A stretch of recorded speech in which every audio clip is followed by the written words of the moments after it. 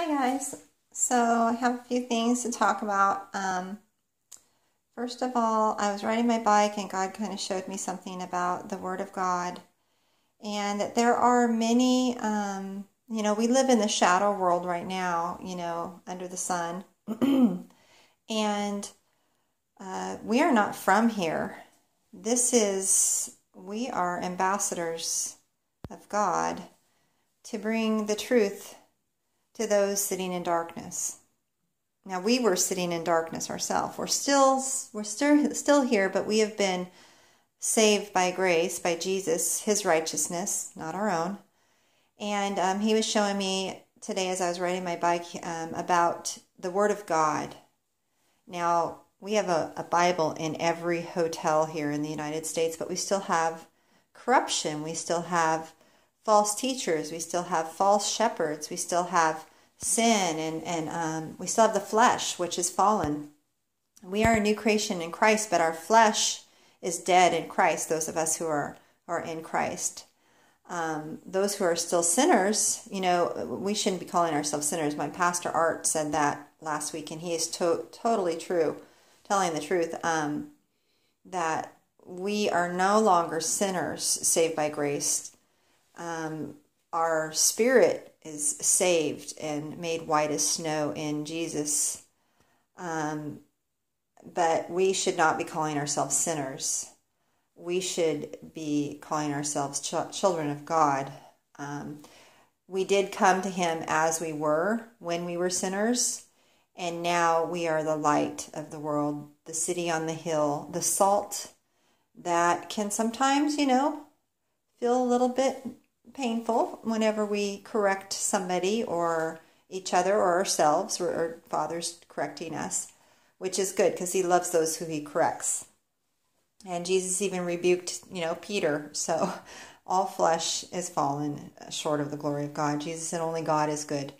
So we shouldn't beat ourselves up or each other. We should, you know, love each other and correct each other and let the Spirit work, do the work. Because all of the work that we do from our flesh or on our own is going to burn in fervent heat. All the elements, which the false God was uh, El, and Jesus is the true God, Yeshua HaMashiach, Jesus Christ of Nazareth is the true God.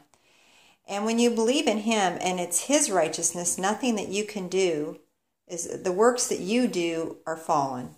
The works the Spirit does through you will be saved and you will be have a reward because it's the works of the Spirit that has reward in heaven, not our flesh.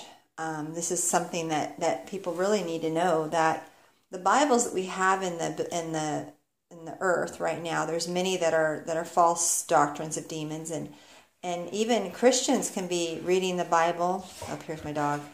Um, can be reading the Bible with their flesh and with their intellect and thinking they know the truth but really not um, the true spirit is in them. They sure have the words correct, though, but Satan did too. He was very deceptive whenever he was talking to Adam and Eve. He knew God, and he fell from that grace.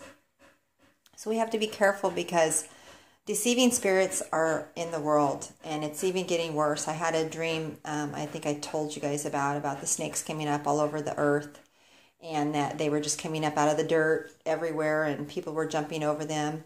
Some were and then i was like noticing the big one was coming up in the middle of the earth and you know we were trying to jump over everything and i'm saying get up this and then all of a sudden the stairway formed in front of me and it was a white stairway. And i said come up here. And um, that's jacob's ladder i guess and uh, so Jesus is the door, Jesus is the way. You know, I believe Jesus was the stairs that, you know, I saw in my dream. But uh before the big one comes fully out, um, I'm hoping that's what happens because I don't want to be here. But I do feel like I should be here to help people, you know, to help them not take the mark of the beast or to help them to persevere through persecution or through um, martyrdom for the name of Jesus Christ of Nazareth, uh, to love our enemy, um, which is very difficult. But um, back to the scriptures, uh, we have a false way coming right now in the world Uh, they're calling it the ingathering or the togetherness or the, uh, what is it called, the reset. Hallie, don't do that right now. Love you. See how cute she is. Um, and this is a false teaching. Um, it's a false shepherd. Now, King Solomon started out good, but then he married the Egyptian wives and had pagan um, gods and taught and performed magic. You know, he was doing magic, and that's against God because no one doing sorcery will enter into the kingdom of heaven. Um, and it says that in Revelation. So uh, be careful what you're listening to and what you're hearing because together means to get her. So this movement, this Jesus culture movement, is a false light. Now remember the shallow seed in the parable of the seed, the sowing of the seed. Uh, it gets burnt up because it's shallow. Now everyone's seeking a sign, seeking a feeling, seeking all of this this uh, stuff that is gathering them together, and to get her. And what that means to get her, who is the her that they're trying to get? Well, the her is the true bride of Christ, the true church. Also, to get her could be meaning their uh, female goddess, which Allah is a female goddess, uh, moon goddess, and uh, the Je- the Jesuits, uh, all of them worship Miriam, which Mary said, and I quote her. She said, um, "I am joyful for my." Uh, uh, hold on, I, I just went blank. Ah, Father, help me with this. I, I am joyful for my God, my Savior. She's talking about Jesus. She needed a Savior. So she's not going to save people. She also said, Miriam or Mary also said, to listen to Jesus and do what he says. She didn't say ever once did she say, listen to me. So there's a false unity, a false peace that's being done right now in the name of Jesus. And remember, the prote- Protestants were protesting Rome. Well, Rome just signed up the Protestants back into their, uh, their uh, I call it harlotry, with all their idol worship, all their false gods, all their false ways their Tammuz worship, their sun god worship, the Eucharist, which is sun god worship. You could see it's a big old sun.